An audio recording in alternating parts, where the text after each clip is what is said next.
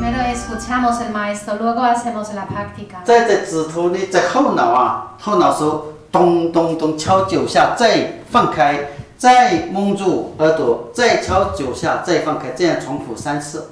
Eh, escuchar la campana celestial. Primero ponemos eh, manos, centro de mano en las orejas, completamente apretada, cerrada, y luego con los dedos golpeando detrás de la cabeza nueve veces. Y luego apretar fuerte, crear un efecto de bandosa y luego alejar las manos de prisa. Tercera vez.